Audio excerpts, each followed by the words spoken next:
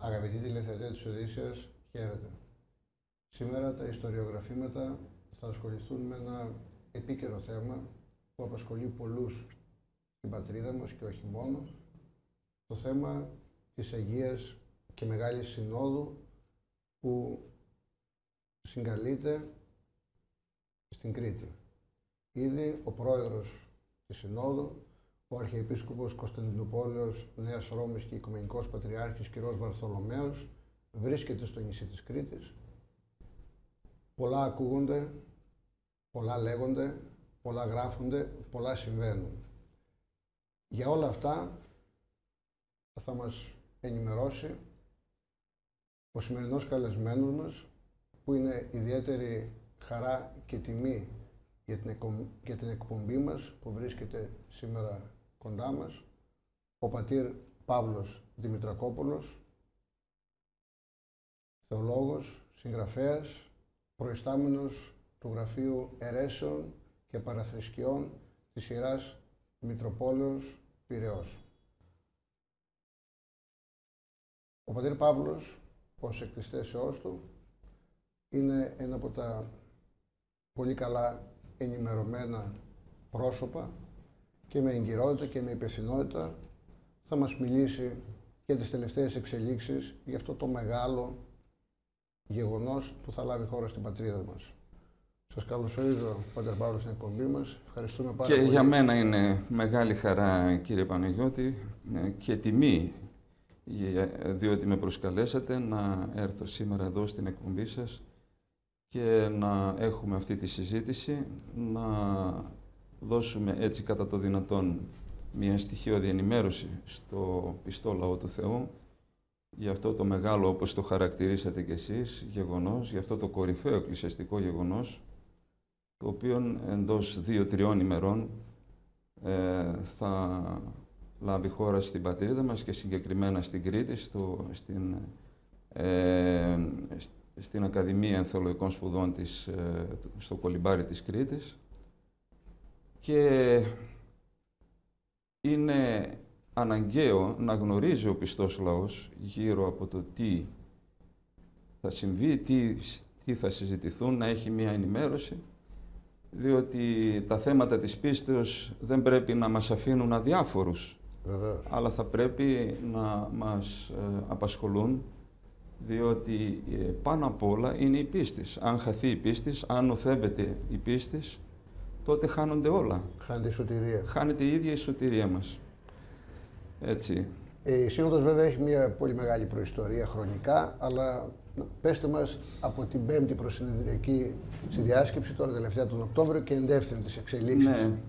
Ε, όπως είπατε, η Σύνοδος αυτή έχει μια μεγάλη ιστορία. Είναι μια ιστορία περίπου 93 ετών από τότε που ο Πατριάρχης, ε, ο Οικουμενικός Πατριάρχης, ε, ο Μεταξάκης, Μελέτης Μεταξάκης, ε, συγκρότησε εκείνη τη σύνοδο του 1923 της Κωνσταντινούπολης, όπου για πρώτη φορά ετέθη το θέμα της συγκροτήσεως μιας Οικουμενικής Συνόδου, μιας Γενικής Πανορθόδοξης Συνόδου με οικουμενικές προδιαγραφές, από τότε λοιπόν ε, το θέμα αυτό ε, εξακολουθεί να παραμένει στο νου και στη σκέψη των εκκλησιαστικών μας ηγετών και της πρωτόφρονης εκκλησίας του Οικουμενικού Πατριαρχείου ε, και βέβαια προς την κατεύθυνση αυτή όλοι οι μετέπειτα Οικουμενικοί Πατριάρχες έκαναν προσπάθειες για να προωθήσουν αυτό το θέμα και να πραγματοποιηθεί κάποτε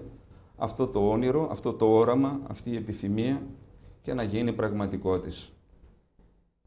Δεν θα κάνω ιστορική αναδρομή από τότε μέχρι τώρα, διότι θα έπρεπε να μιλούμε για πολλές ώρες, αλλά θα περιοριστώ ε, να αναφερθώ στα τελευταία εκκλησιαστικά γεγονότα από τον περασμένο Οκτώβριο, που έγινε και η πέμπτη προσυνοδική πανορθόδοξη διδάσκεψη στο Σαμπιζή της ε, Γενέβης, στην οποία διάσκεψη ε, καταρτίστηκε ο τελικός κατάλογος των θεμάτων τα οποία θα συζητηθούν στην Αγία και Μεγάλη Σύνοδο.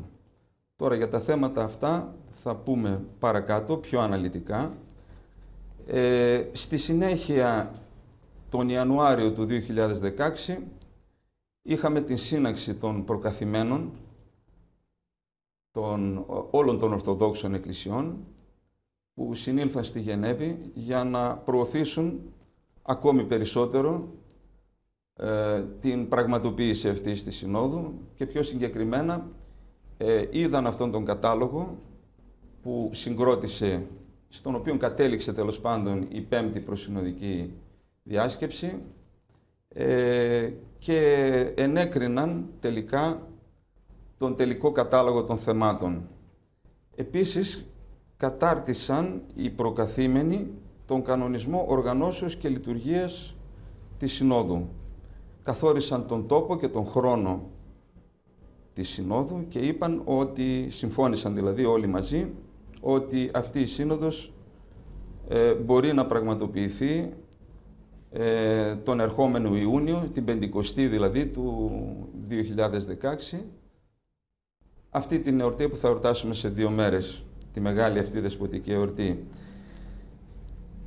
Από 16 έως 27 Ιουνίου, ουσιαστικά οι εργασίες αυτής της Συνόδου θα διαρκέσουν μία εβδομάδα. Από την Κυριακή της Πεντηκοστής, την Κυριακή της Πεντηκοστής θα γίνει το πανηγυρικό συλλήτουργο όλων των προκαθημένων που θα λάβουν μέρος σε αυτήν την Σύνοδο στο Ηράκλειο, στον Άγιο Μινά του Ηρακλείου της Κρήτης και από τη Δευτέρα, τη Δευτέρα του Αγίου Πνεύματος, την ερχόμενη Δευτέρα δηλαδή, θα αρχίσουν οι εργασίες και θα τελειώσουν την Κυριακή των Αγίων Πάντων. Εδώ ε, δύο ερωτήσεις θα ήθελα να, σε αυτά που μου είπατε.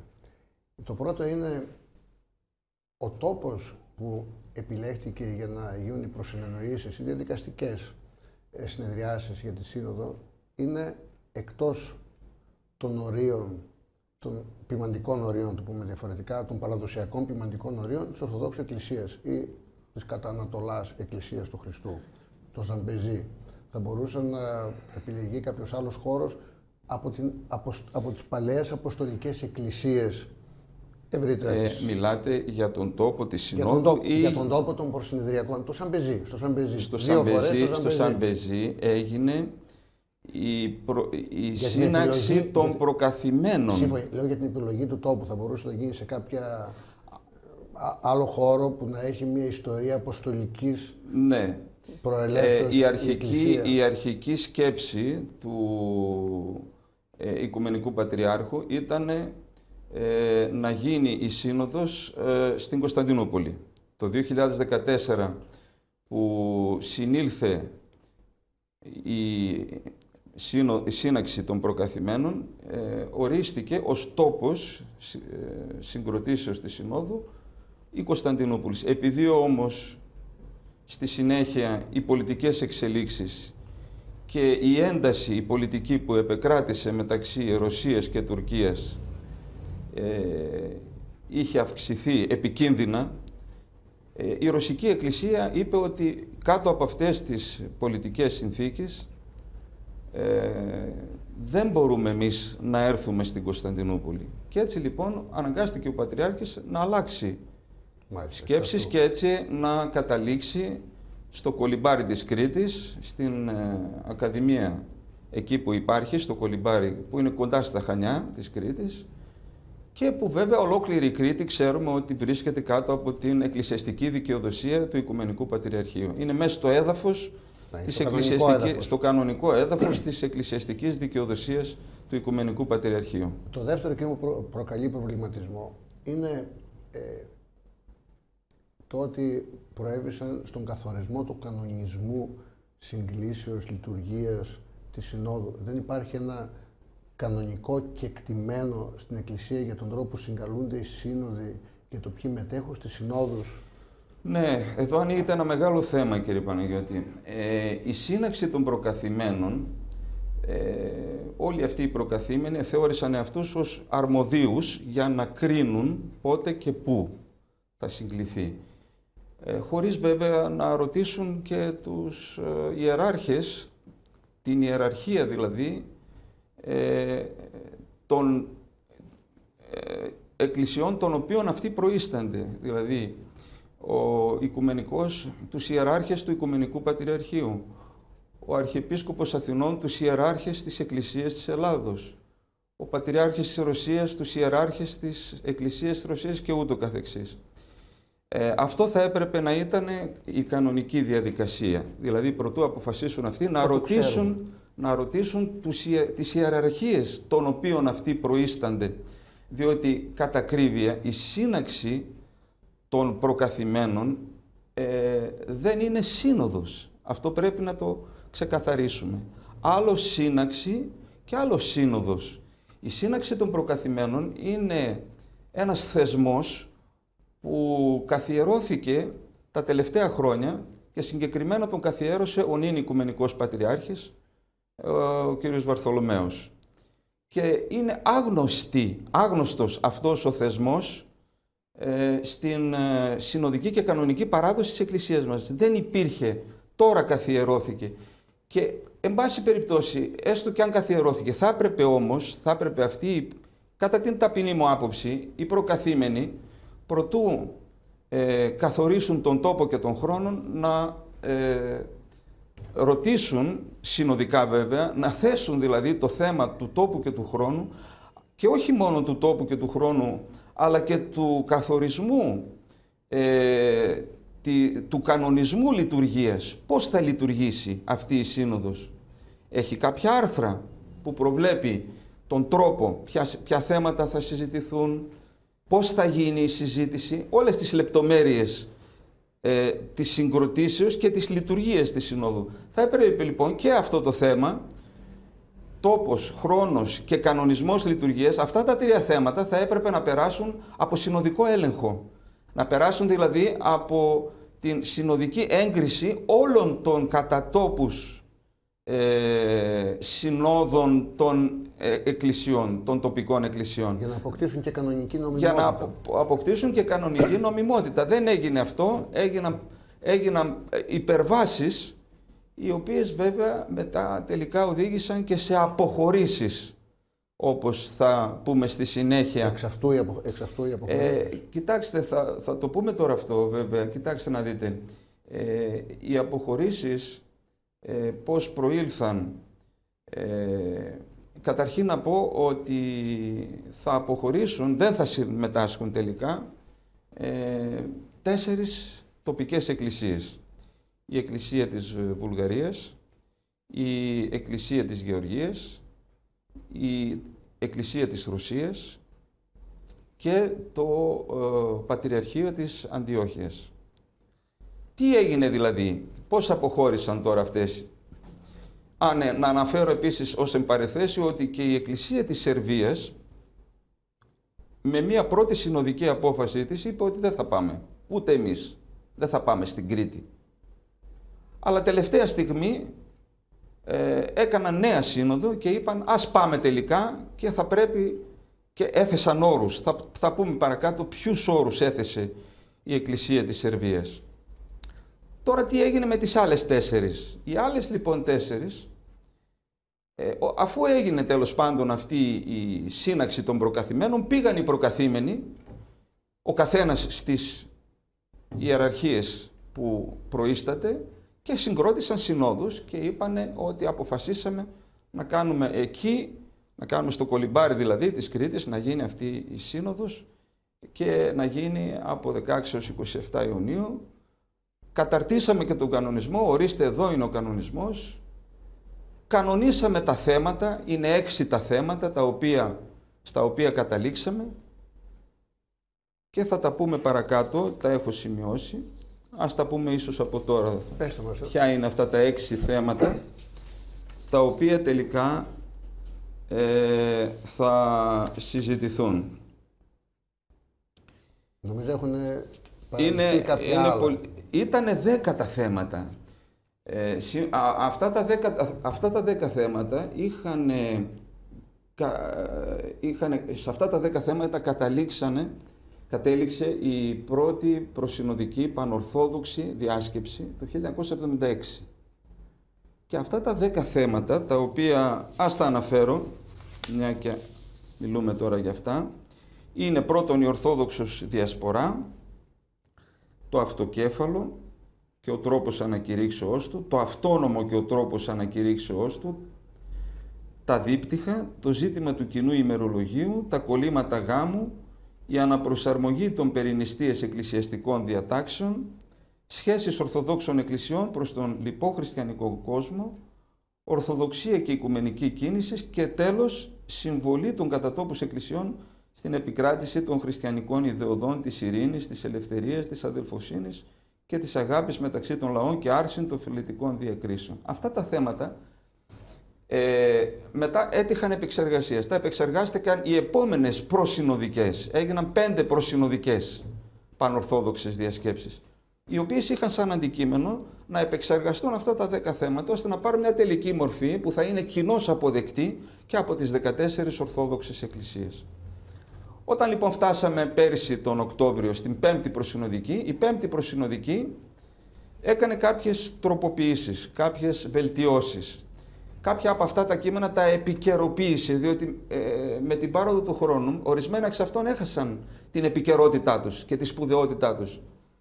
Και επιπλέον συγχώνευσαν δύο από τα θέματα σε ένα. Δηλαδή, το θέμα σχέσεις Ορθοδόξων Εκκλησιών προς το λοιπό χριστιανικό κόσμο και το θέμα Ορθοδοξία και Οικουμενική κίνησης το κάνανε ένα, το συγχωνεύσανε. Οπότε μείνανε ε, ε, εννέα. τα θέματα. Από τα θέματα αυτά, δύο, ε, δύο από τα θέματα, το θέμα του αυτοκεφάλου και των διπτύχων, δεν μπορέσαν να καταλήξουν σε μία ομοφωνία.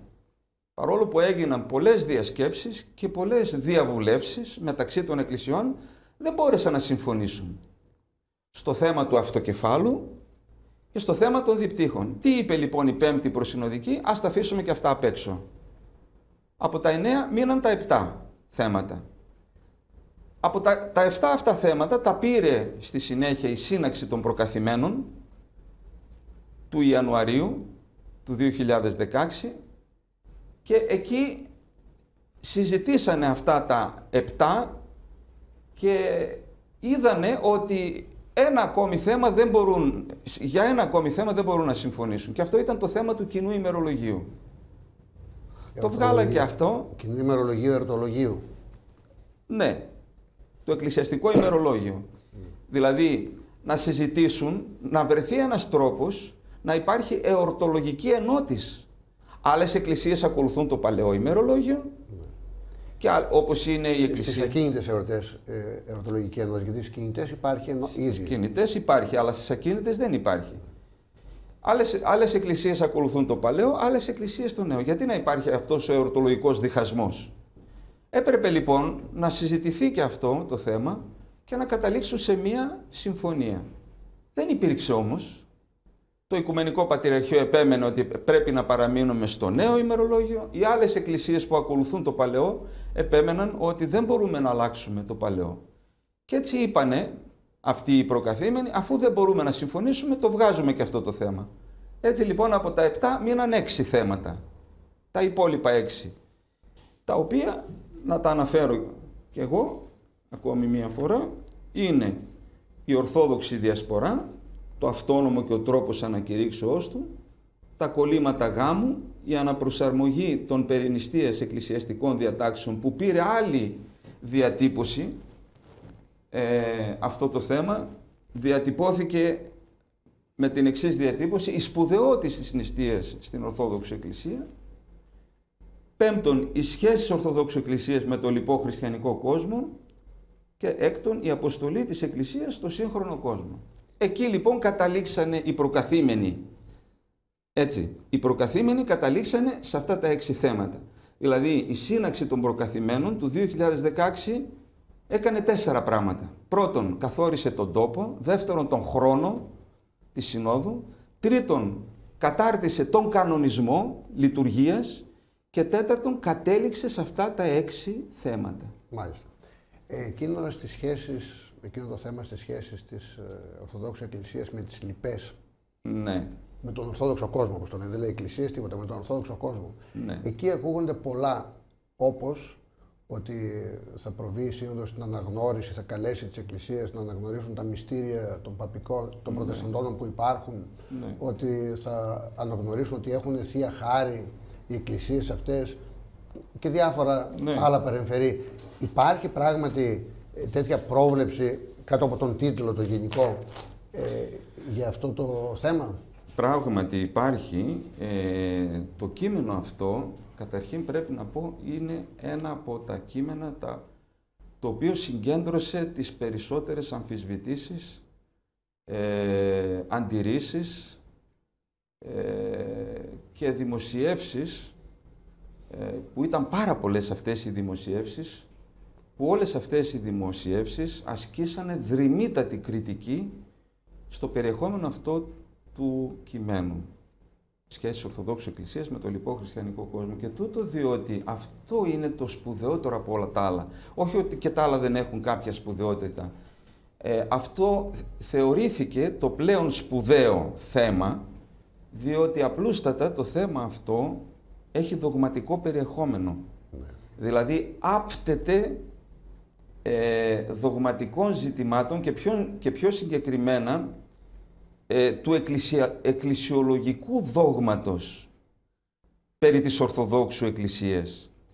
Το οποίο εκκλησιολογικό δόγμα, έτσι με απλά λόγια, λέει τι είναι η Εκκλησία, ποια είναι η Εκκλησία και ποια είναι ε, οι σχέσεις της με τον ετερόδοξο κόσμο με τους παπικούς, με τους προτεστάντες, με τους μονοφυσίτες, καταλάβατε. Αντιχαλκιδονίους δηλαδή. Αντιχαλκιδονίους, μονοφυσίτες κλπ. Καταλάβατε. Αυτό λοιπόν το κείμενο ε, δέχθηκε ισχυρότατη, σφοδρότατη κριτική από μία πληθώρα.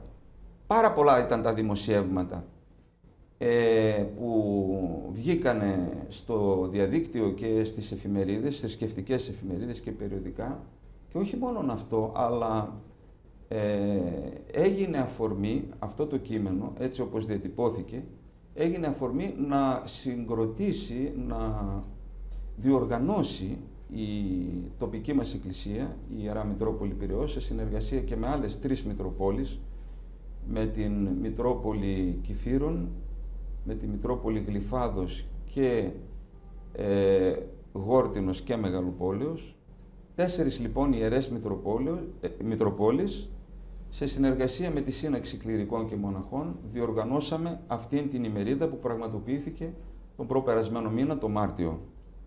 23 Μαρτίου έγινε αυτή η ημερίδα, η οποία ήταν μια πολύ σημαντική ημερίδα με πανορθόδοξη απήχηση, διότι έγινε γνωστή όχι μόνο πανελληνίως, αλλά και σε, στις άλλες ε, Ορθόδοξες, Ορθόδοξες εκκλησίες γνωστοποιήθηκαν τα κείμενα, δηλαδή οι εισηγήσεις των, ε, των ομιλητών που μίλησαν σε αυτή την ημερίδα, ε, μεταφράστηκαν σε ξένες γλώσσες, στα αγγλικά, ε, ρωσικά, βουλγαρικά κλπ, ώστε να λάβουν γνώση και οι άλλες εκκλησίες. Και ε, είχε μεγάλη απήχηση, δημιούργησε έντονο προβληματισμό στις σλαβικές εκκλησίες, Ρωσία, Γεωργία και Σερβία επίσης και, τη, και η Βουλγαρία, είδανε ότι όλες αυτές οι σλαβικές εκκλησίες είδαν ότι ε, αυτό το κείμενο πάσχει. Πάσχει πολύ σοβαρά, έχει ε, πολλές αντιφάσεις, ε, σκοτεινές διατυπώσεις, αντιφατικές ε, εκφράσεις που επιδέχονται πολλές ερμηνείες, ε, δεν έχουν τα κείμενα αυτά θεολογική πληρότητα και προπάντων δεν έχουν θεολογική ορθότητα. Έχουν κακόδοξες διατυπώσεις. Αυτό που οφείλονται κατά τους εισηγητές στην ανεπάρκεια των συνταξάντων ή σε σκοπιμότητα; Δεν μπορούμε να ξέρουμε ε, τους, ε, αν υπάρχει σκοπιμότητα πίσω από αυτές τις διατυπώσεις, πίσω από το, αυτό τον τρόπο με τον οποίο διατυπώθηκε, αλλά τουλάχιστον μπορούμε να, να συμπεράνουμε ότι οι αντιπρόσωποι όλων των Ορθοδόξων Εκκλησιών που επεξεργάστηκαν αυτά τα κείμενα και που έδωσαν αυτή την τελική μορφή στα κείμενα, ε, δεν, δεν έπραξαν, δηλαδή δεν διατύπωσαν σωστά το εκκλησιολογικό δόγμα και έπεσαν έξω. Έπεσαν έξω ως προς τη διατύπωση. Αν ε, υπήρχε σκοπιμότητα, αυτό δεν, μπορώ να, δεν είμαι σε θέση να το πω. Δεν ακούστηκε ότι υπήρχε σκοπιμότητα. Ε, εκείνο που με εκπλήσει, με συγχωρείτε που σας διακόπτω, ναι. είναι το εξής. Ότι οι προκαθήμενοι των Ορθοδόξων Εκκλησιών, οι σημερινοί προκαθήμενοι, κατέχουν στη χειρότερη περίπτωση ένα πτυχίο θεολογίας. Στην καλύτερη έχουν μεταπτυχιακά, διδακτορικά, έχουν ευρύτερες γνώσεις και σπουδές από ό,τι ακούμε και διαβάζουμε ε, για τον καθένα εξ αυτών. Που σημαίνει ότι τουλάχιστον την τέχνη της επικοινωνίας, τη γλώσσα, το πώς να εκφραστούν λόγω των σπουδών τους, την κατέχουν. Οι πατέρες ημών, να πάμε στην Τουρκοκρατία, αν θέλετε, να πάμε στο Βυζάντιο, που δεν είχαν με τα σημερινά δεδομένα αυτές τις των υψηλών προδιαγραφών γνώσης, ίσως, σύμφωνα με τις πληροφορίες που έχουμε από τις πηγές. Όμως σε τέτοια κείμενα, είτε καταληκτικά κείμενα, είτε προσυνοδικά κείμενα, δεν υπήρχαν τέτοια προβλήματα. Ε, και να σας πω ένα πολύ χαρακτηριστικό παράδειγμα. Ε, στο κείμενο της Συνόδου των Μουλαχερνών, η οποία απεκήρυξε την βεβαιασμένη ένωση της Συνόδου της Λιών, που έγινε το 1274, ο Πατριάρχης Γρηγόρ... 1200. 1200 με συγχωρείτε, 1274, ναι. ναι. Η Σύνοδος είναι το 1282. Ναι. Στην Κωνσταντινούπολη. Ναι. Λοιπόν, ο Πατριάρχης Γρηγόριος ο Δεύτερος, ο, ο Γρηγόριος ο Κύπρος όπως λέμε, ναι. συνέταξε ένα κείμενο για τη Σύνοδο, το οποίο μερικοί συνοδικοί είχαν αντιρρήσεις ως προς να το υπογράψουν, επειδή κάποιες λέξεις ή κάποιες διατυπώσεις δεν ήταν σωστές, νόμιζαν ότι ήταν επαμφωτερίζουσες κτλ. Δόθηκαν οι εξηγήσεις, τελικά υπεγράφει το κείμενο, ένα κείμενο πολύ δύσκολο ε, και στη διατύπωση αλλά και στα νοήματα τα πυκνά τα οποία είχε. Τελικά έγινε αποδεκτό, όπου απεκηρύσσε το, ε, δινόταν εξηγήσεις για την δια του ιού, εκπόρευση, τι ακριβώς εννοούν οι πατέρες όταν λένε αυτά τα πράγματα και κάποια άλλα θέματα σχετικά με το φιλιόκουβε. Και έγινε αποδεκτό από την Εκκλησία και παραμένει μέχρι σήμερα. Ο Γρηγόριος ο Κύπριος ήταν πρωταποστολάριος του Ευαγούς Βασιλικού Κλήρου. Ο Θεόδωρος Μουζάλων που ήταν εκ των πρωτεργατών της Συνόδου που συνομιλούσε με τον Βέκο, τον έκτο Πατριάρχη, που ήταν μέγας χαρτοφύλακα, ήταν μέγας ε, λογοθέτης. Αυτοί, αυτοί οι δύο προείστανται τη συνόδου, στις συνομιλίες. Mm. Δηλαδή άνθρωποι οι οποίοι είχαν, δεν είχαν κάποια συστηματική παιδεία με τη σημερινή ονομασία, με τη σημερινή ορολογία, αλλά όμως εγνώριζαν επακριβώς τα της Εκκλησίας. Σήμερα, γιατί δεν έχουμε κάτι ανάλογο; Ε, καταρχήν να πω ότι η ακριβής και η ορθή διατύπωσης του δόγματος δεν είναι θέμα επιστημονικών θεολογικών γνώσεων, αλλά είναι θέμα θείου φωτισμού. Συμφωνώ, αλλά έτσι παρουσιάζεται σήμερα. Ναι. Εάν ένας επίσκοπος, ε, και προκαθήμενος ακόμη να είναι, εάν δεν έχει το θείο φωτισμό, μπορεί να πέσει έξω και να κάνει λάθη και να πέσει σε πλάνες. Καταλάβατε, δεν θα φέρω παραδείγματα. Ο, ο Οικουμενικός Πατριάρχης, ε, Πατριάρχης του ο Νεστόριος, ο οποίος κατέληξε στην αίρεση του νεστοριανισμού. Ήταν πατηριάρχης, είχε θεολογικές γνώσεις, Βεβαίως. είχε φιλοσοφικές γνώσεις, άριστες. Και όμως έπεσε στην αίρεση. Καταλάβατε, έχουμε τέτοιες περιπτώσεις. Δεν πρέπει λοιπόν να μας παραξενεύει το γεγονός ότι προκαθήμενοι αρχιεπίσκοποι με πτυχία και με διπλώματα κλπ. Και, και με διδακτορικές διατριβές πέφτουν σε πλάνες ναι. ή τουλάχιστον δεν μπορούν, δεν είναι σε θέση να δούνε ε, ε, τα κενά που υπάρχουν, που υπήρξαν σε αυτό το κείμενο, το, το απαράδεκτο κείμενο. Ε, Για τον Εστόριο ήταν ένας. Εδώ είναι χορό 14. Είναι, δε χορό, είναι χορό. Αλλά τι, τι άλλο έγινε το οποίο έπρεπε να γίνει; Το, αυτό που κάνανε οι προκαθήμενοι ε, να εγκρίνουν αυτά τα κείμενα προτού να περάσουν από συνοδικό έλεγχο. Καταλάβατε; Βλέπετε τι γίνεται. Δηλαδή είχαμε μια παράκαμψη. Παρακάμφθηκε ο συνοδικός έλεγχος. Αυτοί βιάστηκαν, τα πήραν, τα είδαν, έριξαν μια ματιά και είπαν καλά είναι. Αλλά τι θα έπρεπε να πούν αυτά τα κείμενα, όπως είναι τώρα, δεν μπορούμε να τα ε, εγκρίνουμε εμείς. Δεν είμαστε, σε, δεν, δεν είμαστε εμείς σύνοδος. Πρέπει να τα πάρουμε, να τα θέσουμε υπόψη, ο καθένας από εμά στην ιεραρχία που ανήκουμε να αρχίσουν, να αρχίσουν όλες οι ιεραρχίες όλων των τοπικών εκκλησιών να επεξεργάζονται και να μελετούν αυτά τα κείμενα και να καταλήξουν σε κάποια αποτελέσματα. Δεν έγινε όμως αυτό, καταλάβατε, δεν έγινε αυτός ο συνοδικός έλεγχος που έπρεπε να προηγηθεί. Έγιναν αυτά, ε, αυτά τα προθύστερα, έγιναν αυτές οι βιαστικές κινήσεις, οι οποίες τελικά ε, οδήγησαν σε ένα διέξοδο. Δηλαδή, ναι, παρεκά, παρεκάνθη ένα καλός υπό της Εκκλησίας βεβαιωμένο καθεστώς. Βεβαίως. Το συνοδικό καθεστώς, έτσι όπως ξέρουμε καθεστώς. να λειτουργεί τόσα χρόνια. Ακριβώς. Έπρεπε λοιπόν η σύναξη των προκαθημένων, αυτοί οι 14 προκαθήμενοι, όταν ε, είπαν ότι θα καταλήξουμε σε αυτά τα έξι κείμενα, να τα πάρουν αυτά τα έξι και να πάει ο καθένας στην ιεραρχία του και να τα θέσει συνοδικός και να πει ότι τι λέτε για αυτά τα κείμενα, για να τα δούμε, για να τα μελετήσουμε. Είναι ορθόδοξα αυτά τα κείμενα, έχουν κενά, έχουν σκοτεινές διατυπώσεις, έχουν θεολογική ορθότητα; Τότε θα ήταν διαφορετικά τα πράγματα. Βεβαίως. Τώρα λοιπόν αυτοί τα εγκρίνανε και είπανε αφού τα εγκρίναμε είμαστε πλέον στο τελικό στάδιο, στην τελική ευθεία. Μπορούμε να κανονίσουμε, να καθορίσουμε τον τόπο και τον χρόνο. Κανόνισαν όλα αυτά και όταν εκ των υστέρων, μετά δηλαδή τον Ιανουάριο που έγινε αυτή η, η σύναξη, τα πήραν οι προκαθήμενοι και, αρχίσ, και, τα, και τα θέσαν υπόψη ο καθένας από αυτούς σε συνοδικό έλεγχο.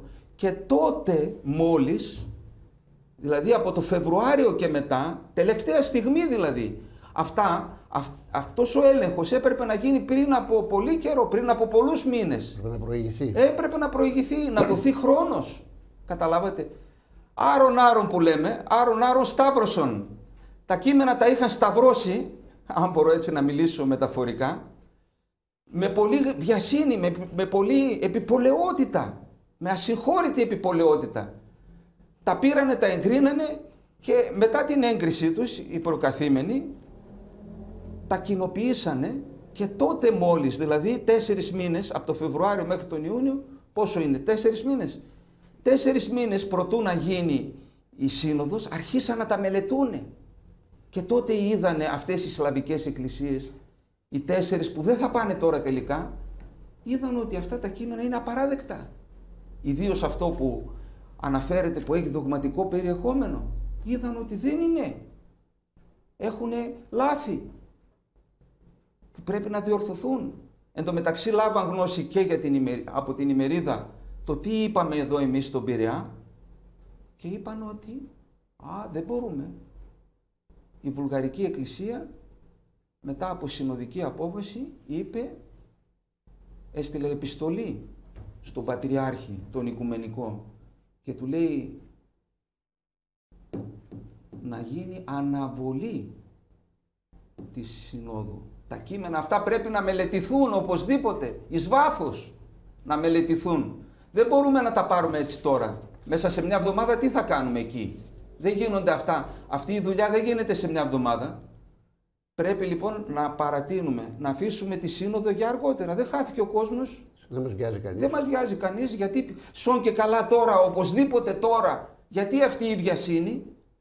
Λοιπόν, και είπε η Βουλγαρική Εκκλησία, εμείς θέλουμε αναβολή. Αναβολή. Το Οικουμενικό Πατριαρχείο δεν δέχτηκε την αναβολή και πήραν νέα συνοδική απόφαση η Βουλγαρία, η Εκκλησία της Βουλγαρίας και είπε «Α, εφόσον εσείς δεν δέχεστε να κάνουμε αναβολή, εμείς δεν ερχόμαστε». Δεν, δεν δέχτηκαν να συμμετάσχουν, όχι γιατί έτσι τους κάπνισε. Γιατί είχαν λόγους. Είχαν λόγους συγκεκριμένους. Δηλαδή, με λίγα λόγια, αυτό που έγινε με το, με την ημερίδα που διοργάνωσε η Μητρόπολη Πυραιός μαζί με τις άλλες τρεις Μητροπόλεις έκανε το αυτονόητο, το αυτονόητο, που έπρεπε να γίνει σε όλη την έκταση της Ορθοδόξου Εκκλησίας. Ακριβώς. Βγήκαν άνθρωποι και είπαν τα συνήθη, τα αυτονόητα για την εκκλησιαστική διαδικασία Ακριβώς. και για τα θέματα τα οποία έτσι όπως τέθηκαν. Η ημερίδα η οποία διοργανώθηκε επεσήμανε όχι μόνον κενά και αντιφάσεις και κακόδοξες διατυπώσεις στα προσυνοδικά κείμενα και ιδίως αυτό το τελευταίο που, για το οποίο ομιλήσαμε, σχέση Ορθοδόξου Εκκλησίας με το λοιπό χριστιανικό κόσμο. Αλλά επεσήμανε και κάτι άλλο, πολύ σημαντικό, που θα πρέπει και αυτό να το σχολιάσουμε. επεσήμανε έλλειμμα συνοδικότητος. Ότι αυτή δηλαδή η σύνοδος που θα γίνει στην Κρήτη ε, έχει σοβαρότατο έλλειμμα συνοδικότητος. Άρα δεν μπορεί επί της ουσίας να ονομαστεί και σύνοδος. Δεν μπορεί. Δεν μπορεί. Οι ομιλίες που έγιναν από τους ομιλητές με αδιάσυστα επιχειρήματα επεσήμαναν αυτό το έλλειμμα συνοδικότητος. Και μια που μιλούμε για αυτό το έλλειμμα συνοδικότητος, να πούμε πού έγκυται αυτό το έλλειμμα. Πέστε μας. Να πούμε λοιπόν λίγα λόγια. Εις τι συνίσταται αυτό το έλλειμμα της συνοδικότητος.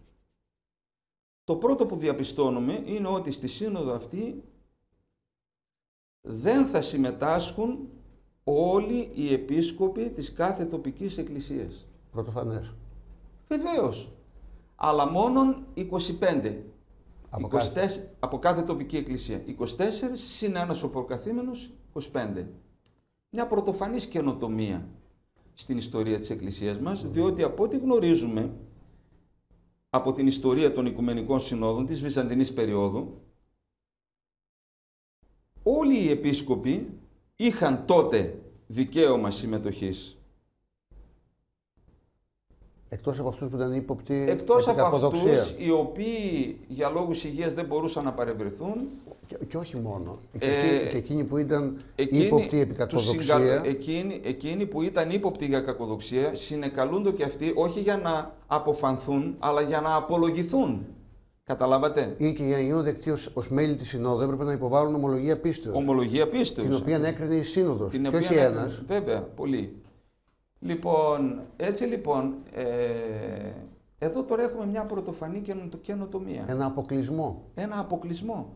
Γιατί παράδειγμα τώρα από την Εκκλησία της Ελλάδος που έχει 80-82 επισκόπους να αποκλειστούν τα δύο τρίτα και να πάνε μόνον 25. Οι άλλοι ε, έχουν μειωμένη επισκοπική ευθύνη. Και ποιος αποκλεί ότι από αυτούς τους 25 όλοι αυτοί οι 25 θα ορθοτομήσουν και θα ομιλήσουν ένα Αγίο Πνεύματι; Καταλάβατε; Και αν Σοβαρά από ζητήματα. αυτούς, βεβαίως, αν από αυτούς που αποκλείστηκαν υπάρχουν ας πούμε επίσκοποι οι οποίοι είναι φωτισμένοι, είναι χαριτωμένοι, έχουν κατάσταση θείου φωτισμού και θεώσεως, γιατί να αποκλειστούν αυτοί; Που θα έπρεπε αυτοί πρώτοι να συμμετάσχουν. Κυρίως. Κυρίως γιατί αυτοί θα ομιλήσουν σαν στόματα, Χριστού. της, εκ- στόματα Χριστού, σω- στόματα της Εκκλησίας. Γιατί να αποκλειστούν, ποιος, ποιος έδωσε αυτό το δικαίωμα να τους αποκλείσουμε αυτούς, καταλάβετε, Άλλωστε και η Σύνοδο τι είναι, είναι έκφραση της εμπειρίας των θεουμένων της των Εκκλησίας. θεωμένων. Από αυτούς που θα αποκλειστούν, αν υπάρχουν θεούμενοι, γιατί να μην λάβουν μέρος; Και να λάβουν μέρος άλλοι οι οποίοι πιθανότατα να έχουν αιρετικές και ξέρουμε ότι μπορεί πολλοί από αυτούς που θα πάνε, το γνωρίζουμε από την μέχρι τώρα Πορεία τους. πορεία τους, από τις δηλώσεις που κάναν μέχρι σήμερα. Ε, τι σκέπτονται και ε, πώς ομιλούν. Αν ομιλούν ορθοδόξους, αν εκφράζουν κακόδοξες σκέψεις και διατυπώσεις. Αν έχουν οικουμενιστικές, αν, αν ακολουθούν μια οικουμενιστική γραμμή, ξέρουμε. Πολλοί από αυτούς δεν θα έπρεπε καν να συμμετάσχουν. Διότι προωθούν την αίρεση του οικουμενισμού. Καταλάβατε; Δεν θα έπρεπε. Άρα λοιπόν, πώς θα επιλεγούν αυτοί οι 25 και γιατί να επιλεγούν καθόλου δεν θα έπρεπε. Όλοι θα έπρεπε να συμμετάσχουν σε αυτή τη σύνοδο. Και να εκφραστεί το φρόνημα της Να Εκκλησίας. εκφραστεί έτσι με, μη- με έναν ανατελικωμένη. καθολικό, καθολικό τρόπο. Όπως έγινε στη Β' Βατικανή Σύνοδο. Στη Β' Βατικανή Σύνοδο συμμετείχαν πάρα πολλοί, όλοι οι επίσκοποι του, του παπισμού, της παπικής εντός εισαγωγικών βέβαια εκκλησίας, δεν είναι εκκλησία. Λοιπόν, γιατί να μην κάνουμε κι εμείς κάτι ανάλογο; Και Ποιο- να ποιος μας εμποδίζει σε αυτό; κολοβώσουμε, να κολοβώσουμε αυτή τη σύνοδο και να πάρουμε μια μικρή αντιπροσωπεία 25 επισκόπων. Το καταλάβατε. Αυτό θα πει έλλειμμα συνοδικότητος. Το άλλο, δεύτερον, ο τρόπος της ψηφοφορίας. Οι 24 επίσκοποι δεν έχουν ο καθένας μια δική του ψήφο. Δεν έχουν. Δεν έχουν. όπως αυτό συνέβαινε στις αρχαίες Οικουμενικές Συνόδους, ο κάθε επίσκοπος είχε δική του ψήφο. Τώρα τι συμβαίνει, καινοτομία, καινούριο. Όλοι αυτοί οι 24 έχουν μία ψήφο. Ο καθένας μία ψήφο. Όχι. Η, η κάθε μία εκκλησία είναι μία ψήφο. Μπράβο. Η κάθε μία τοπική εκκλησία έχει μία ψήφο. Δηλαδή οι 24 που αποτελούν την αντιπροσωπεία της κάθε εκκλησίας έχουν μία ψήφο. Πρωτοφανές, απαράδεκτο. Καταλάβατε. Όλα αυτά λοιπόν ε, στοιχειοθετούν αυτό που σας είπα, ότι εδώ έχουμε σοβαρότατο έλλειμμα συνοδικότητος. Πολλοί βέβαια από την οικουμενιστική πλευρά, πολλοί οικουμενιστές δηλαδή, αρχι, αρχιερείς, αρχιεπίσκοποι κλπ, ε, προβάλλουν ε, δικαιολογίες και επιχειρήματα και λένε πώς θα συγκεντρωθούμε τόσοι πολλοί ας πούμε επίσκοποι. Μου λέτε, στη Χαλκιδόνα οι 630 Ακριβώς. της Οικουμενικής Συνόδου Πώς με τα μέσα της συγκεντρώθηκαν εποχής, πώς και με τα συγκεντρώθηκαν; μέσα εκείνης της εποχής που ήταν πάρα πολύ δύσκολο. Σήμερα λοιπόν δεν υπάρχουν συνεδριακά κέντρα που να χωρούν χίλιους ανθρώπους. Όλοι οι επίσκοποι των 14 αυτών εκκλησιών πόσοι είναι; Ας είναι 700, 750, δεν είναι παραπάνω. Ο θρόνος τότε ο Οικουμενικός, τον 5ο αιώνα, είχε τόσους επισκόπους. Μόνο το Πατριαρχείο Κωνσταντινούπολεως. Σκεφτείτε και τα υπόλοιπα πώς συμμαζεύονταν. Άρα λοιπόν δεν είναι τώρα αυτό επιχείρημα. Βεβαίως δεν είναι. Καταλάβατε. Και μάλιστα σήμερα με τα, με τα σημερινά μέσα μεταφοράς, ένας επίσκοπος από την άλλη άκρη του κόσμου μέσα σε μερικές ώρες μπορεί να είναι στον προορισμό του με το αεροπλάνο. Εν μέση τουρκοκρατία, στον φοβερό 16ο αιώνα, όταν ο Ιερεμίας ο Τρανός γύρισε από την περιοδία του στη Ρωσία Ναι. και συγκάλεσε μείζωνα και υπερτελή σύνοδο, στην οποία παρίσταται και ο Μελέτος Πηγάς. Παρέστησαν πάρα πολλοί επίσκοποι στην Κωνσταντινούπολη, την τουρκοκρατούμενη, Ναι. Των πολέμων, των Βεβαίως. πολλών πολέμων, Και των πολέμων. της φτώχειας, Φτώχεια, του, βέβαια. πι- του ποιμνίου, του Ορθοδόξου ποιμνίου, αλλά εκείνοι οι άνθρωποι άφησαν τις έδρες τους, τις επισκοπικές και ήρθαν και πήγαν για αυτό το σοβαρό θέμα στην Κωνσταντινούπολη και απεφάσισαν και έγινε αυτό που έγινε. Σήμερα, Για ποιο, ποιο ποιο είναι το λόγο; μεγάλο εμπόδιο; Ποιο είναι το μεγάλο εμπόδιο; Δεν υπάρχει εμπόδιο. Ας γινόταν στην Αθήνα αυτή η σύνοδος. Έπρεπε να γίνει εκεί στο Κολυμπάρι. Στο Κολυμπάρι δεν χωρούν τόσοι. Η, ας πούμε αυτή η Ακαδημία δεν χωράει. Εδώ όμως έχουμε. Και είναι Αποστολική Εκκλησία η Εκκλησία των Αθηνών. Βεβαίως, βεβαίως. Έτσι. Έτσι. Είναι ο χώρος που, που εκήρυξε ο Απόστολος Παύλος. Έτσι. Θα έπρεπε λοιπόν ε, έτσι να σκεφτούν και να δώσουν την ευκαιρία σε όλους τους επισκόπους να ομιλήσουν και να έχει ο καθένας δική του ψήφο. Όπως εξορισμού κάθε επίσκοπος, κάθε, καθένας που καλείται ε, στην περιοπή την επισκοπική, έχει, είναι στόμα Χριστού, έχει το ακόλυτον της ομολογίας της πίστεως. Έτσι. Και, και μάλιστα σε, ένα τέτοιο, σε μια τέτοια κορυφαία στιγμή της Εκκλησίας που είναι η Σύνοδος. Μετά άλλο στοιχεί- στοιχείο που ε, τεκμηριώνει το έλλειμμα συνοδικότητας. Τι είπαν αυτοί τώρα, οι προκαθήμενοι; Θα κάνουμε αυτή τη σύνοδο από την τάδε του μηνός μέχρι την τάδε. Μια εβδομάδα. Καλά, μέσα σε μια εβδομάδα θα λυθούν όλα αυτά τα θέματα που θα συζητηθούν;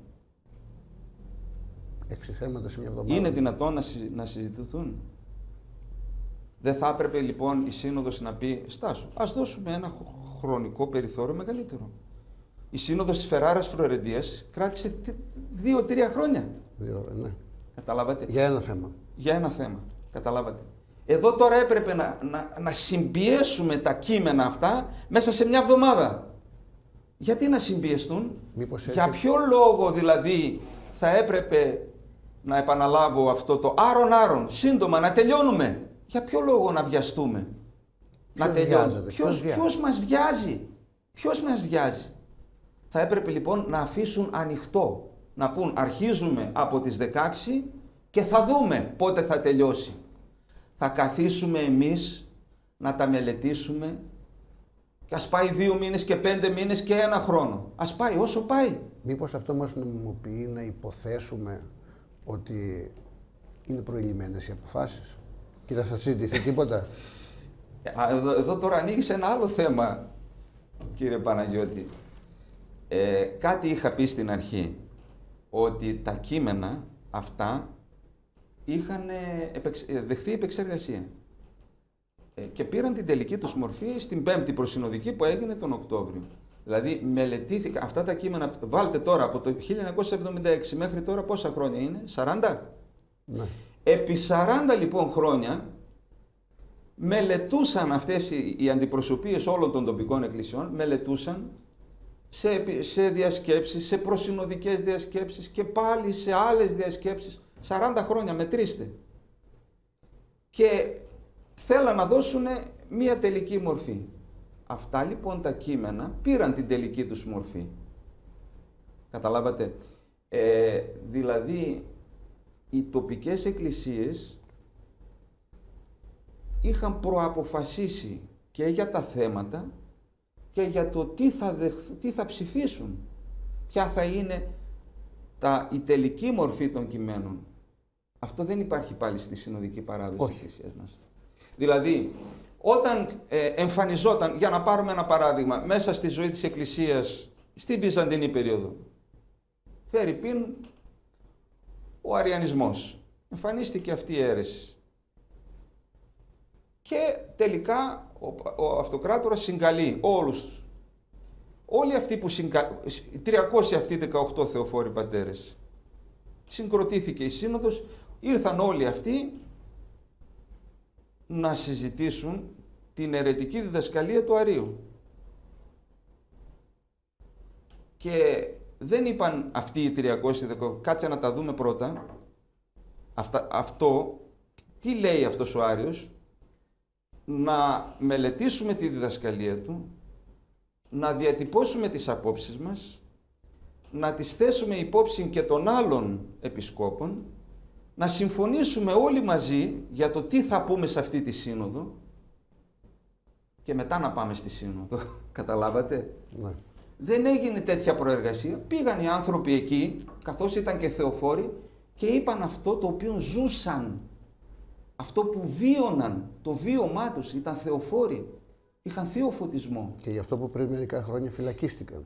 Ναι, δεν, δεν είπανε ότι «Α, εμείς τώρα θα πάμε και θα πούμε αυτό και αυτό και αυτό». Ναι, γιατί Ε, σύνοδο- ε, εκείνη την ώρα, εκεί- αυτό που τους φώτισε ο Θεός, αυτό είπανε, γιατί ήταν θεοφόροι. Δηλαδή το να προαποφασίζονται τα θέματα που θα συζητηθούν σε μια σύνοδο είναι ξένο προς την συνοδική παράδοση της Εκκλησίας μας. Καταλάβατε; Όλα αυτά αποτελούν ελλείμματα συνοδικότητος. Και μια σύνοδος με έλλειμμα συνοδικότητος, ε, ξέρετε, όπως είναι γνωστό, ο τελικός κριτής μιας συνόδου είναι το χριστεπώνυμο πλήρωμα. Ακριβώς. Το Είναι Χριστό ο, είναι ο λαός, είναι οι επίσκοποι, οι πρεσβύτεροι και ο λαός. Ακριβώς. Ε, πολλοί σύνοδοι ε, συνήλθαν με, χωρίς έλλειμμα συνοδικότητος, με όλες τις διαδικασίες ορθές, όπως λέει και ο Ιερός Φώτιος, αλλά ε, δεν έγιναν αποδεκτοί από τον λαό, από τον πιστό λαό και στη συνείδηση της Εκκλησίας εξέπεσαν και, ονομάζουμε, και ονομάζονται ληστρικές. Οι ψευδοσύνοδοι. Ή ψευδοσύνοδοι, ή παρασύνοδοι, ή παρασυναγωγές. Έτσι. Ε, εδώ λοιπόν έχουμε, όπως μας αναπτύσσεται, ε, έλλειμμα συνοδικότητας. Έχουμε στα κείμενα πρόβλημα στη διατύπωση, προβλήματα κακοδοξίας, αστοχιών θεολογικών, Κενά, αντιφάσεις. κενά και αντιφάσεις, άγνωστα στο, πα- στο παρελθόν. Ναι. Και τι μπορούμε να πούμε ότι είναι δυνατόν με αυτές τις προϋποθέσεις, τις αρνητικές προϋποθέσεις που έχουν αναδειχθεί και στην ημερίδα που διοργάνωσε η Μητρόπολης Πυραιός, έχουν γίνει αποδεκτές και από άλλες ομόδοξες εκκλησίες, ορθόδοξες εκκλησίες, μπορεί μια σύνοδος να διεκδικήσει τη συνοδικότητα, το υποχρεωτικό της αποδοχής των Πανορθόδοξο αποφάσεων; κύρος μπορεί, Πανορθόδοξο να, κύρος, μπορεί, μπορεί. να διεκδικήσει. Όχι ασφαλώς, δεν μπορεί να διεκδικήσει. Εδώ θίγεται ένα πολύ σοβαρό θέμα που θα πρέπει και αυτό έτσι να το σχολιάσουμε. Λέει μεταξύ άλλων αυτό το κείμενο με τίτλο σχέση το, το επίμαχο αυτό και απαράδεκτο, πέρα για πέρα απαράδεκτο κείμενο σχέσεις Ορθοδόξου Εκκλησίας με τον λοιπό χριστιανικό κόσμο. Εκεί ε, προς το τέλος αναφέρει σε ένα άρθρο ότι η υψίστη αυθεντία για την ε, έκφραση των δογματικών διδασκαλιών της Το λέω με δικά μου λόγια τώρα, ναι, δηλαδή, ναι. να καταλάβετε. Για την έκφραση των δογματικών διδασκαλιών είναι η Σύνοδος. Η Σύνοδος. Ε, ωστόσο όμως αυτό ε, δεν είναι ορθό, διότι υπήρξαν, όπως είπατε, πολλές σύνοδοι οι οποίες αποδείχθηκαν ληστρικές. Δεν μπορούμε λοιπόν να πούμε ότι οπωσδήποτε κάθε σύνοδος που συγκροτείται μπορεί να διεκδικήσει την υψίστη αυθεντία, δηλαδή το αλάθητο των αποφάσεών της, ότι οι αποφάσεις που θα πάρει, εκ να πούμε εκ των προτέρων ότι οι αποφάσεις που θα λάβει αυτή η σύνοδος θα είναι αλάθητες, θα είναι θεόπνευστες. Δεν μπορούμε να το πούμε από εκ των προτέρων αυτό, διότι στην ιστορία της Εκκλησίας μας έχουμε ακριβώς αυτά τα παραδείγματα των ληστρικών συνόδων. Ο τελικός λοιπόν κριτής της ορθότητος, της γνησιότητος μιας συνόδου, έστω και αν αυτή συγκαλείται με οικουμενικές προδιαγραφές, είναι ο πιστός λαός και ο κλήρος. Έτσι και όχι οι ιεράρχες που συγκροτούν. το αντίθετο όμως λέει το κείμενο αυτό. Εμείς λέει το κείμενο ότι εμείς οι αρχιερείς είμαστε οι αποκλειστικοί υπεύθυνοι για να εκφραστούμε αλάθητα. Να εκφραστούμε αλάθητα, προσέξτε, τα δόγματα της πίστης.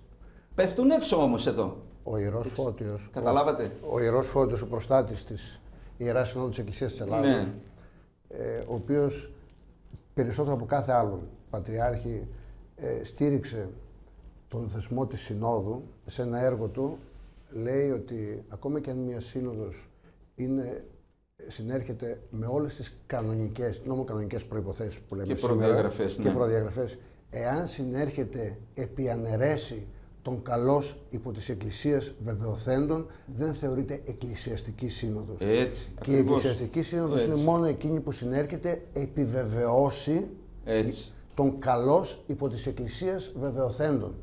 Τώρα μου ανοίγετε, μου δίνετε την αφορμή να επεκτείνω λίγο τις σκέψεις σας πάνω σε αυτά, τα οποία είναι πέρα για πέρα ορθά βέβαια, του Μεγάλου Φωτίου και να πω ότι, προσέξτε, σε όλες τις Οικουμενικές Συνόδους της Βυζαντινής περίοδου, συμπεριλαμβανομένης και αυτής του Μεγάλου Φωτίου, είχαμε το εξής. Η κάθε επόμενη σύνοδος ερχόταν να επικυρώσει όλες τις δογματικές αποφάσεις των προγενεστέρων οικουμενικών. Η Δευτέρα της πρώτης, η Τρίτη της Δευτέρας και της πρώτης, η Τετάρτη της Τρίτης, της Δευτέρας και της πρώτης και ούτω καθεξής. Καταλάβατε, ερχόταν να επικυρώσουν. Ήταν το πρώτο άρθρο των κανόνων. Το πρώτο άρθρο των κανόνων, καταλάβατε. Εδώ δεν φαίνεται αυτό, μέσα σε αυτό, μέσα λοιπόν, σε αυτά τα κείμενα δεν φαίνεται που θα έπρεπε να υπάρχει όμως. Δεν προβλέπεται κάτι Δεν προβλέπεται μέσα από τα κείμενα ότι αυτή η σύνοδος θα έρθει να επικυρώσει Καταλάβατε, να επικυρώσει όλες τις προηγούμενες που υποχρεούται αν θέλει να έχει οικουμενικό κύρος αν, αν, θέλει να έχει την αξίωση να είναι οικουμενική και πανορθόδοξη και συνέχεια των προγενεστέρων. Θα έπρεπε λοιπόν στα κείμενα αυτά να προβλέπεται η αναγνώριση όλων των προγενεστέρων.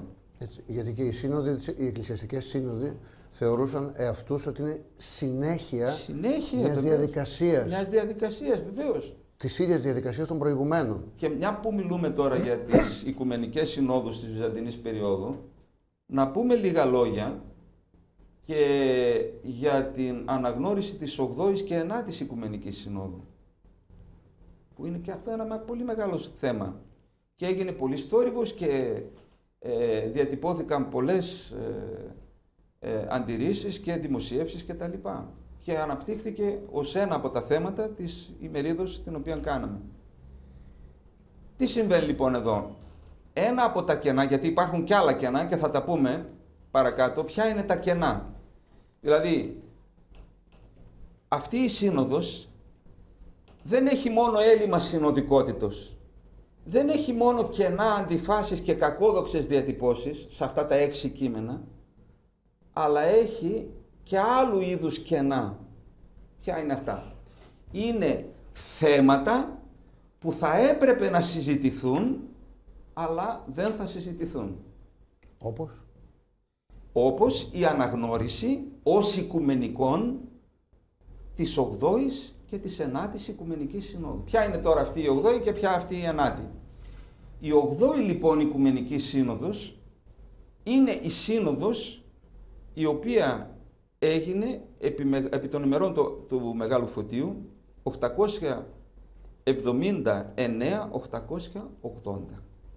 Αυτή η σύνοδος έχει όλες τις προδιαγραφές και τις προϋποθέσεις για να ονομαστεί ως οικουμενική. Να λάβει. Και η ίδια ονομάζει, έχει τη συνείδηση ότι είναι οικουμενική σύνοδος. Ακριβώς. Εάν ρίξουμε μια ματιά στο περισπούδαστο αυτό έργο το οποίο έγραψε ο αείμνηστος καθηγητής Ιωάννης Καρμύρης, τα δογματικά και συμβολικά μνημεία της Ορθοδόξης Εκκλησίας, εκεί μιλάει για όλες τις οικουμενικές συνόδους και μιλάει και για αυτήν. Και λέει λοιπόν εκεί ο καθηγητής, ο Ιωάννης ο Καρμύρης, ότι αυτή η σύνοδος είχε, αυτοί που, που συγκρότησαν, είχαν τη συνείδηση ότι αποτελούν οικουμενική σύνοδο. Όχι μόνο για αυτό το λόγο, αλλά και διότι η σύνοδος αυτή έγινε αποδεκτή όχι μόνο από τα πατριαρχία της Ανατολής, αλλά και από αυτόν τον Πάπα. Ναι. Και από την Ρωμαιοκαθολική Εκκλησία. Τότε δεν είχε γίνει ακόμη το σχίσμα. Ναι. Έτσι. Και υπέγραψαν τα πρακτικά αυτής της Συνόδου, τα υπέγραψε και οι αντιπρόσωποι του Πάπα που ήρθαν εκεί και συμμετείχαν σε αυτή τη Σύνοδο. Καταλάβατε; Και βέβαια αναγνωρίστηκε η οικουμενικότητα και η γνησιότητα αυτής της Συνόδου και από τον πιστό κλήρο και το λαό του Θεού, ως αυθεντική Ορθόδοξη Σύνοδος, η οποία αφενός μεν επεκύρωσε όλες τις προηγούμενες και την, και την Εβδόμη ως οικουμενική, αφετέρου εδογμάτισε πάνω σε δο... Ε, δηλαδή ε, ε, Ορθοτόμησε το λόγο της Εκκλησίας. Ε, ασχολήθηκε με ναι. δογματικά θέματα και πιο συγκεκριμένα ασχολήθηκε με το Φιλιόκβε, ε, με το Πρωτείο του Πάπα και μερικά άλλα που ήταν ε, κανονιστικής φύσεως. Λοιπόν, έχουμε λοιπόν ε, όλα αυτά τα πράγματα. Να σας πω γι' αυτό ε, κάτι. Ε, οι ιστορικοί ναι. γύρω από τον Ιερό Φώτιο, την ναι. εποχή του και μετά, λένε ναι. ότι η συμπερίληψη στην ομολογία πίστεως των επισκόπων, το μεγάλο μήνυμα, της 7ης Οικουμενικής Συνόδου οφείλεται σε πρωτοβουλία του Ιερού Φωτίου, την οποία υλοποίησε ο διάδοχός του και μαθητής του Άγιος Νικόλαος ο Μυστικός και η ναι. πρώτη τέτοια ομολογία πίστεως επισκόπου που περιλαμβάνει και αποδέχεται τις 7 και όχι τις 6 μέχρι τότε που λέγανε Οικουμενική ναι. Συνόδος είναι η ομολογία πίστεως του Αρέθα Κεσαρίας, ναι. του πατρέως του ναι. γνωστού λογίου εκείνου της εποχής του 9ου-10ου αιώνας, ο οποίος την αναφέρει και την καθιέρωσε πλέον έκτοτε μέχρι σήμερα ο Άγιος Νικόλαος ο Μυστικός. Ναι, ναι. Την, του να καθιερωθεί, να συμπεριληφθεί στην ομολογία πίστος των Επισκόπων η 8η Οικουμενική Σύνοδος και η 9η του Αγίου Γρηγορίου του Παλαμά, η οποία είναι και κάρφος εν το οφθαλμό όλων των λεγόμενων χριστιανικών εκκλησιών, άλλων κτλ. κτλ. Για ε, την 9η τώρα, επειδή είναι, κάνει... νομίζω, νομίζω επαφίεται στην πρωτοβουλία της Συνόδου εκάστης αυτοκεφάλου εκκλησίες να το κάνει. Κοιτάξτε να δείτε, κοιτάξτε να δείτε. Η Σερβική Εκκλησία, τώρα επειδή το θέσατε έτσι το θέμα, η Σερβική Εκκλησία, προτού ακόμη εδώ και μήνες, εδώ και μήνες, αρκετούς μήνες, δεν θυμάμαι, νομίζω από τον Αύγουστο, πέρσι από τον Αύγουστο ήδη, έγραψε επιστολή στον Οικουμενικό Πατριάρχη και την κοινοποίησε σε όλα τα άλλα πατριαρχία και έθεσε το θέμα της αναγνωρίσεως της 8ης και της 9ης Οικουμενικής. Δηλαδή, αυτής του Μεγάλου Φωτίου και της άλλης ε, που έγινε το 1341-1351, είναι, είναι τρεις σύνοδοι που ναι. έγιναν. Ε, με τα ησυχαστικά. Ε, που αφορούσαν ε, τον ησυχασμό και ιδίως την, το ξεκαθάρισμα ε, περί της ε, που, που αφορούσε την αιρετική διδασκαλία περί κτιστής χάριτος. Καταλάβατε. Η οποία, η, οποία, η οποία αποτελεί, χάρις, αποτελεί θεμέλιο λίθο για τους παπικούς. Δόγμα της, για τους παπικούς. Για τους παπικούς. Λοιπόν, ε, αυτή λοιπόν, η, ενάτη, η 8η λοιπόν και η 9η, ε, οικουμενική, α, έκανε λοιπόν αυτή την επιστολή, ε, έστειλε αυτή την επιστολή και έπρεπε, οπωσδήποτε, θα έπρεπε να ληφθεί υπόψη και να τεθεί ως θέμα. Για ποιο, για ποιο λόγο να μην γίνει, τι λέτε εσείς; Για ποιο λόγο αρνήθηκαν, αρνήθηκε το Οικουμενικό Πατριαρχείο να συμπεριλάβει την αναγνώριση της 8ης και της 9ης. Για να μην προκαλέσει, υποτίθεται, το Πατριαρχείο ήδη και όλες οι υπόλοιπες εκκλησίες είπαν ότι για τον διάλογο μεταξύ μας, παπικών και ορθοδόξων, ζήτησαν με τεπιτάσεως χρόνια πολλά οι, οι, οι, οι παπικοί να προβούν στην κατάρριξη της Ουνίας εσείς ξέρετε... Ναι, όχι, το θέμα της Ιουνίας είναι διαφορετικό. Για, γιατί μια προκλητική ενέργεια έναντι ημών. Ήταν, ναι, καλά. Αλλά, και αλλά δεν ήταν μόνο τότε και τώρα και εδώ και πολλούς Αλλά όμως η Ιουνία ζει και βασιλεύει ναι, ναι. και κρατείνεται. Ναι, ναι, ναι. Έτσι. Αλλά εδώ δεν έχουμε να κάνουμε με την Ιουνία τώρα. Έχουμε να κάνουμε με ένα άλλο πολύ πολύ σοβαρό θέμα. Εάν το Οικουμενικό Πατριαρχείο έθετε επιπλέον ως θέμα την αναγνώριση της 8ης και της 9ης, που και οι δύο αυτές σύνοδοι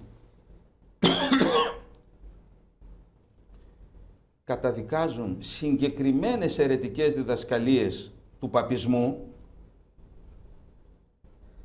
αυτό θα στενοχωρούσε τον Πάπα και θα εσήμενε το οριστικό τέρμα των διαλόγων.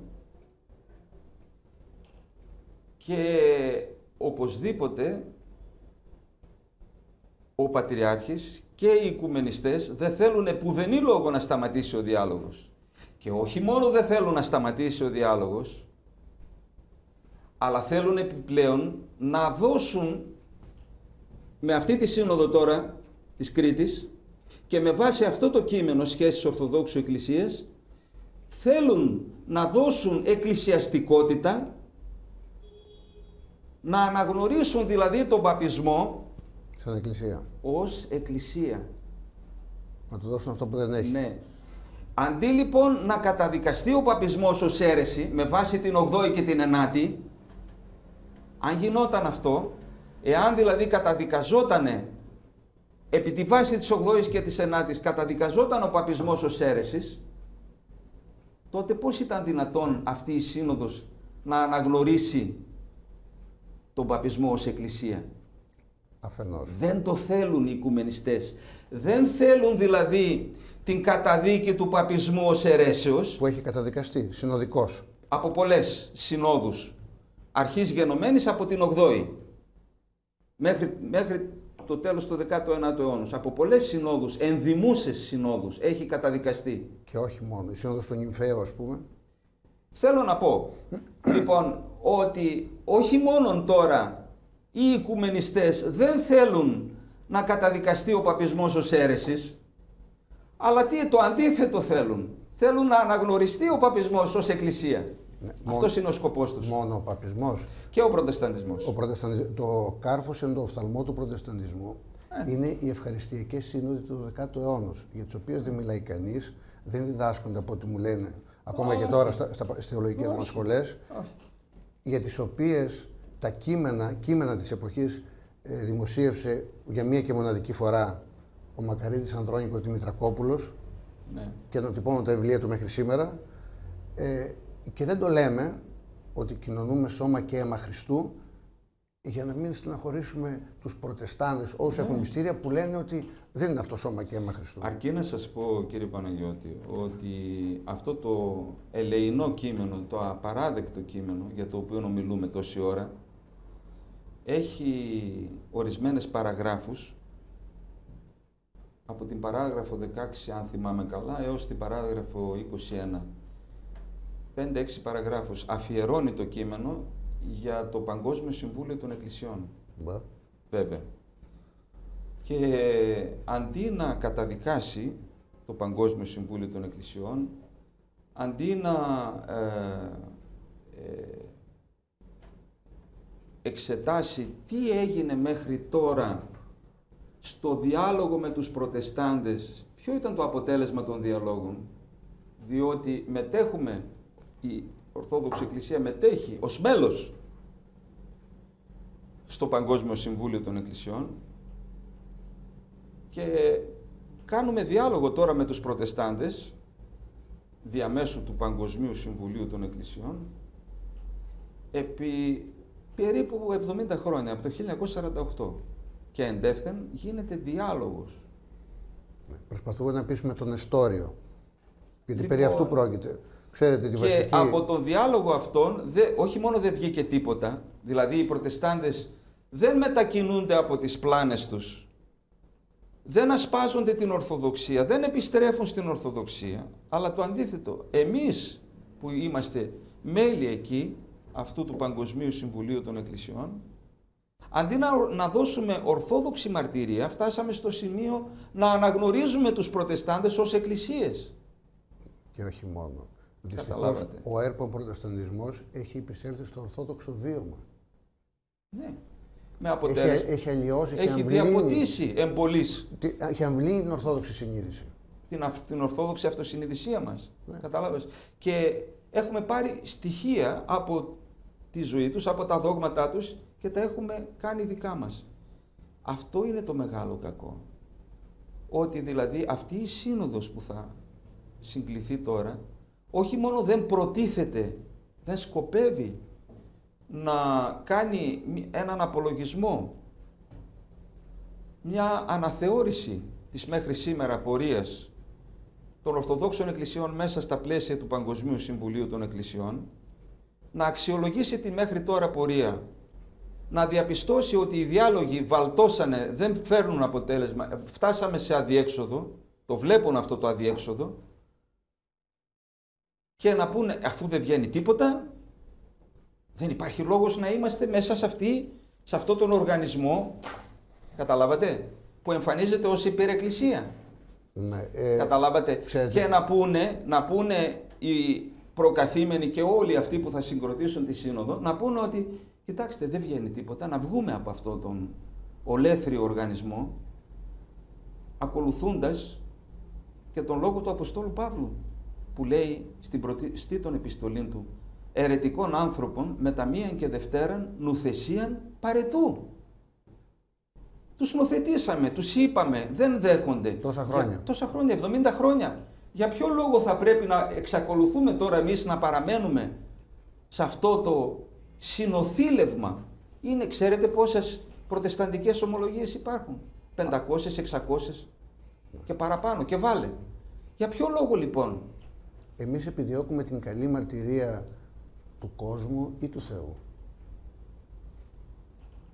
Κύριε Παναγιώτη, θα έπρεπε εμείς οι Ορθόδοξοι να δίνουμε την Ορθόδοξη μαρτυρία στον κόσμο σήμερα και να καλούμε τον κόσμο στους κόλπους της Εκκλησίας και όχι να γινόμαστε κόσμος διότι τότε μοιραία η Εκκλησία εκοσμικεύεται. Εδώ θα πρέπει να θυμηθούμε τα, Καταλάβατε. τα λόγια του Κυρίου, διαβάσαμε την Κυριακή των Αγίων Πατέρων και αυτοί ούκ είναι εκ του κόσμου, οι Απόστολοι, Ναι. αλλά εγώ εξελεξάμιν αυτούς εκ του κόσμου. Έτσι. Λοιπόν, γι' αυτό Αγία, γι' αυτό Άγιοι ονομάζονται οι Χριστιανοί, γιατί δεν είναι εκ του κόσμου, δεν έχουν το κοσμικό φρόνημα, Ακριβώς. προέρχονται από τον κόσμο και κατευθύνονται προς την χριστοποίησή τους, Έτσι. την εκκλησιοποίησή τους. Έτσι. Και όχι το αντίστροφο. ο σκοπός της Εκκλησίας είναι να προσλάβει τον κόσμο και να τον μεταμορφώσει, να θεώσει τον κόσμο. Αν γίνει το αντίθετο, τότε η Εκκλησία χάνει τη σωτηριολογική της αποστολή Εξέπεσε. και Της αποστολής εκπίπτει της αποστολής της, εκοσμικεύεται, γίνεται ένα σωματείο, Έτσι. μια κοσμική οργάνωσης. Καταλάβατε.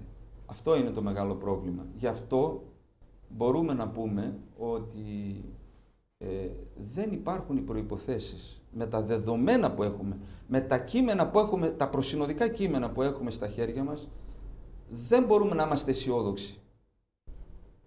Και δεν μπορούμε να πιστέψουμε ότι αυτή η σύνοδος θα λειτουργήσει ως αληθινή Ορθόδοξη σύνοδος. Ως εκκλησιαστική σύνοδος. Ως εκκλησιαστική σύνοδος που θα είναι συνέχεια των προηγουμένων. των προηγουμένων Οικουμενικών Συνόδων. Ένα ακόμη στοιχείο που τώρα έτσι ήρθε στο μυαλό μου και πρέπει να το πω νομίζω και αυτό. Είπαμε προηγουμένως για τα κενά. Ένα κενό είναι που δεν θα συζητήσουν και δεν θα αναγνωρίσουν την 8η και την, Οικου- και την 9η για τους λόγους που εξηγήσαμε. Ένα άλλο κενό που θα έπρεπε να υπάρχει, άλλο θέμα δηλαδή, προς συζήτηση και δεν θα συζητηθεί, είναι ότι αυτή η σύνοδος δεν θα ασχοληθεί με τις σύγχρονες αιρέσεις και με την καταδίκη των συγχρόνων αιρέσεων που μαστίζουν και ταλαιπωρούν την Εκκλησία μας. Κάνω μια αναδρομή. Στις αρχαίες Οικουμενικές Συνόδους, έτσι, της Βυζαντινής περίοδου, ο κύριος λόγος για τον οποίο συνεκροτούνται αυτές οι σύνοδοι, ποιος ήταν, οι αιρέσεις. Οι αιρέσεις. Οι αιρέσεις που εμφανίζονται στη ζωή της Εκκλησίας. Η πρώτη οικουμενική συγκροτήθηκε, ο κύριος λόγος ήταν να καταδικάσει την- τον αριασμό. Η Δευτέρα τους πνευματομάχους, η τρίτη τον εστοριανισμό και ούτω καθεξής. Τώρα λοιπόν βλέπουμε κάτι καινούριο εδώ. Βλέπουμε ότι αυτή η σύνοδος με βάση τα κείμενα που έχουμε στα χέρια μας δεν προτίθεται να ασχοληθεί με τις σύγχρονες αιρέσεις. Καταλάβατε; Με τον παπισμό, με τον προτεσταντισμό και να τις καταδικάσει. Και όχι μόνο δεν θέλει να καταδικάσει, είπαμε προηγουμένως ότι θέλει και να τις αναγνωρίσει. Με τους μάρτυρες του Ιεχωβά, με το διεθνή σιωνισμό, με τη μασονία, με τη νέα εποχή, με τον νέο σατανισμό, με πληθώρα άλλων ερετικών και παραθρησκευτικών οργανώσεων και ομάδων, ούτε καν τα αγγίζει αυτά τα θέματα. Δεν θα έπρεπε. Και βέβαια Τα θα έπρεπε. αγγίξει. Και μάλιστα μερικές από αυτές τις αιρέσεις έχει αποφανθεί και η δικαιοσύνη, η κοσμική δικαιοσύνη. Ναι.